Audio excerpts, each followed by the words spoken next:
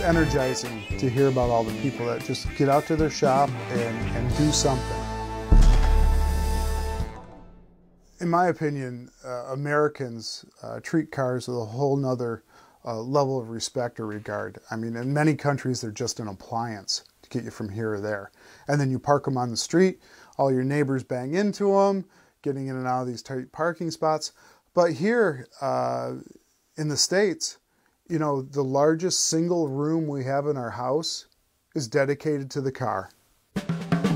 We have a whole different affliction, affection for the automobile than anywhere else.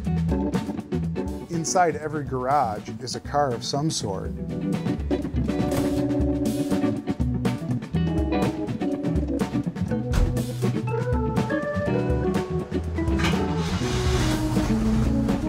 This one I'm putting my fingerprint on. We're lowering it. I'm painting it all monochromatic. I'm doing a custom interior in it. 300 louvers in the hood, filling the skirts, uh, twin French antennas. Um, that's where I had free reign to say, yeah, this car is going to be cool and it's going to be all mine.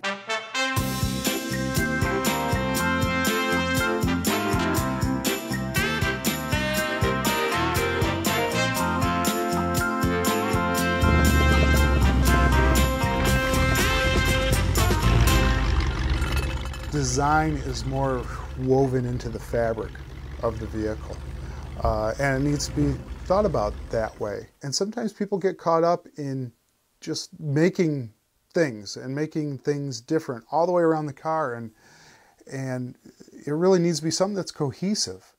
Is there a continuous design theme, front to back to interior to paint that that goes all the way through the car so it's not a bunch of disparaging parts.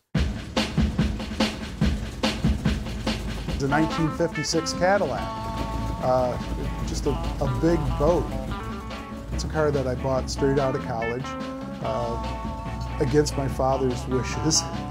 And then I set about customizing it and making my own.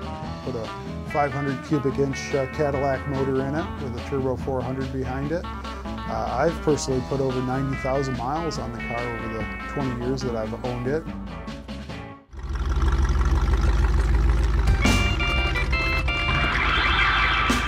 Uh, speaking of design and style, it's been th through three different paint jobs. So it's kind of kept up with the times on what's happening. And right now it's a little bit more of a timeless, traditional style with gunmetal gray and purple scallops and flames.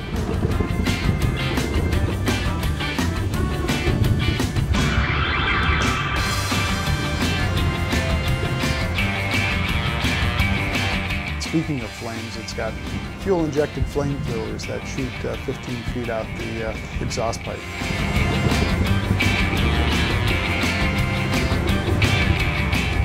It's a real attention grabber.